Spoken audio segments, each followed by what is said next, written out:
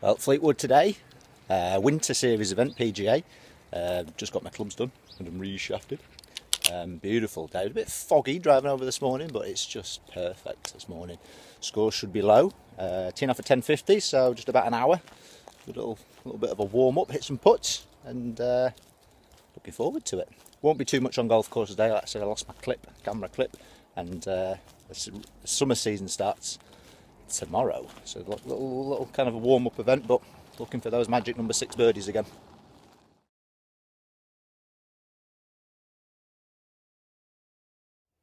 So just giving you a little uh, roundup from today's round at Fleetwood. It was a PGA Winter Series event, PGA of Lancashire Winter Series event. Uh, the last one, there is a, a grand final, which uh, I might have to miss just due to some family commitments, uh, which is in a couple of weeks' time at Blackpool North Shore. Uh, but today's round, you've seen the scorecard, had seven birdies today, which was good. Although feel slightly disappointed as I started off with four birdies in a row, which is a little unusual for me. Got off to a really hot start. Uh, two of them were really good birdies, and then a whole two decent puts down, uh, three and four from roughly 15, 20 foot, which is makes a nice change. Um, it plateaued a little bit during the round, and then the ninth, I kind of knew it was coming, that little hook out of bounds uh, down the left. You ever played the ninth at Fleetwood?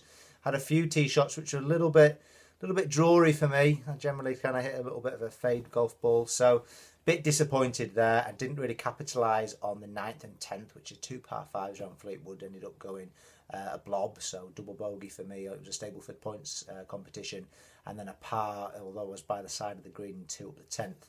Uh, did birdie the other two par fives, which is good. So finish off with seven birdies, one double bogey, one bogey, which was a three putt, which wasn't too bad. I, I hit it to sort of three foot past the hole and just missed the one coming back, so not the end of the world. But oh no, nice to get a little. Uh, it's a tied first finish, but still a bit of a win. Uh, no one else was better than me. Uh, so we had three players: Steve Parry, Andy Palmer, and myself tied at the top. Um, tomorrow I am in Huddersfield at um, Crosslands Heath Golf Course, which I've heard really good things. I've never played it, so I'm going in blind. Uh, got a little bit of advice to lay up on the first hole. Um, don't know what it is, but I'm going to lay up on the first hole anyway and that's in PGA North region, the first event of the summer for me, and uh, hopefully get off to a good start. So carry on some of the form from today would be really. What a difference a day makes. Tuesday on the way to Huddersfield, raining, cold, wet, miserable. Just stuck in traffic, waiting to get on the motorway. Um, it's about an hour and a half to where we're going, Crosland Heath today. Never played it before. Um, hopefully it stops raining and warms up. It was nice yesterday. Stuck in traffic. Teeing off in, still got an hour and a half. It says half, half an hour away. Yeah, I wonder what speed that's travelling at.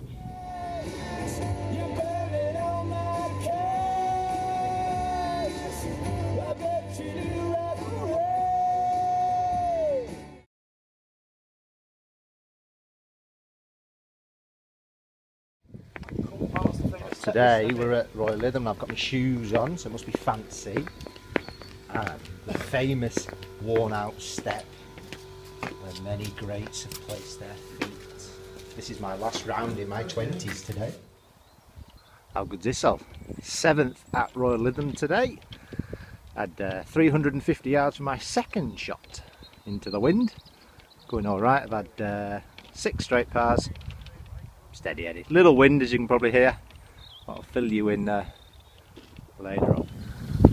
it's Harry out of the fairway bunker. Pitching wedge, you've got about 240. Trying to chew off the lip.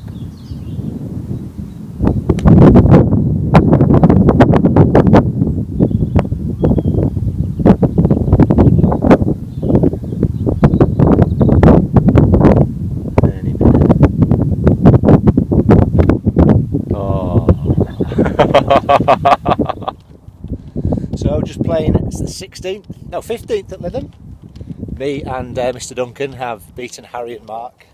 No, no, we're Dormy 4, sorry, 4 to play, 4 up. Um, they've been really good. Just a little review from the week really. I've had a couple of tournaments, had the win at Fleetwood on Monday. Got off to a great start, you saw the scorecard. Played uh, pretty solid. Struggled a little bit with my game from sort of the 100 yard wedge to sort of 70, that kind of gap. And they're very similar again on Tuesday. Of course, I didn't know. Um, now. Up in Huddersfield, uh, Crosslands Heath, that was it. Again, played solid. Um, finished up tied 11th there, 73. Of course, didn't know a few blind tee shots, a quarries and things. Really interesting golf course. Um, proper night and day between those two tracks, Fleetwood by the sea, and then Crosslands Heath up in the mountains, where you like need an oxygen mask for some of them.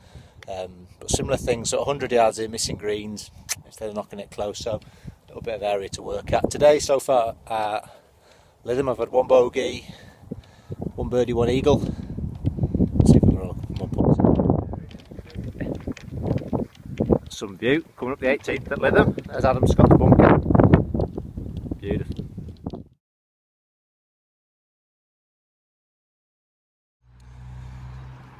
So it's Friday, Good Friday of Easter Easter week, and a little roundup of the week. I've had a fantastic week, really. Uh, got to play a tournament on Monday, which I won at Fleetwood, or tied win, uh, four under on there. Tuesday played one up in Huddersfield, um, which I played pretty solid, just a little rusty from, like I said, round about that 60 to 100 yard mark with the wedges, little three quarter wedges we need to do some work on. Uh, a couple of missed greens, really, which is never very good. Uh, Wednesday was meant to be a coaching day, but my little boy had an, an accident at Beavers on Tuesday night where he got a couple of teeth knocked out, fell over and hit a table. So we spent the evening in A and E, followed by a doctor's, a dentist appointment Wednesday morning.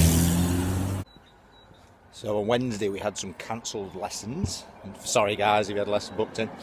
Um, he's still got a swollen jaw, still eating soft foods and lots of ice cream, so he's quite happy. Thursday, yesterday, played my little birthday round of golf as it's my birthday tomorrow actually with Andy Duncan, uh, Mark Monaghan, Harry Borland. Um, that was lovely. Lytham is, I've played it a few times. It's, it's a nice golf course with just the history about the place, and you've got the claret jug in there, and you know you think who's walked these fairways, and you know you remember seeing stuff when the Open was there. So that was that was really good. Well, it's a rainy Monday, the um, 3rd of April, and I had a wonderful birthday party over the weekend, and it is also Masters Week. So, I, what I'm going to do is I'm going to tell you who I'm picking for this week's Masters. Um, now, I haven't done too bad in the past with some picks, and I don't really go for the favourites because I'm a bit of a gambler. Uh, but I'm going to give you five picks who I'm picking. The first one is Phil Mickelson at 16 to 1. Now, he got off to an absolute belting start at the uh, Houston Open just gone in his first round. Um, showing some really good form. He's already previously won. He knows he's previously won this year and he's won the Masters a couple of times, so he knows the track well.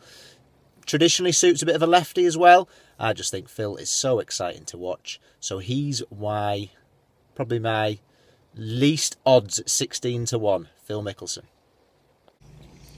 My second choice is Paul Casey at 20 to 1.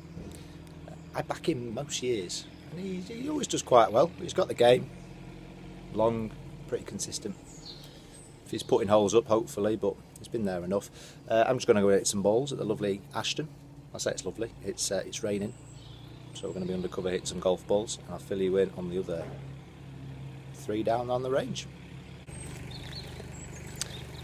Next choice, bit of a tie this one. I can't quite decide yet who my pound is going to go on between Henrik Stenson and Alex Noren. Getting a bit of rain on me. I can't believe Stenson's at about 35 to 1, 33 to 1. I mean, he's won majors. Again, long golfer. Uh, bit streaky on the old putting, but I can't look past Henrik Stenson. 33, I think he was, or 35 to 1. Both very, very similar. Alex Noren has had some great form this year. I like the way he does things in his golf swing he works very hard at it. There's lots of things I like about the way he hits golf balls and his putting. I quite like as well, even though it's a bit unconventional.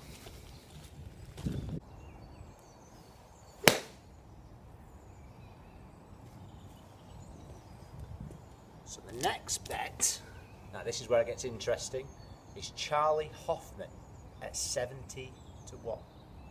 I think it was a couple of years ago, he was there or thereabouts Again, he's another golfer. I love his golf swing. It's maybe not the most orthodox.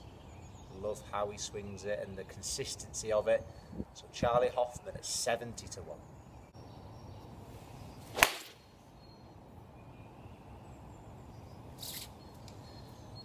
And my last one, my last person I think will have a good chat and very good money of 125 to 1. No one is mentioning him.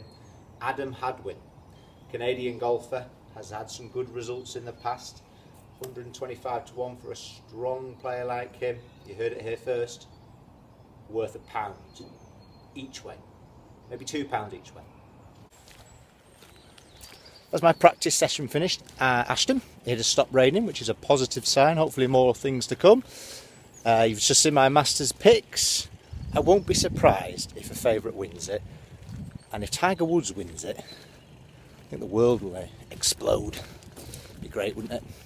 I would forfeit my pounds on those bets for Tiger to win, but he's one of the favourites, so it's not very good money.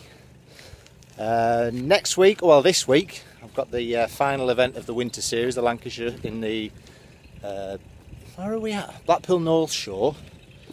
So hopefully the rain stays off for that.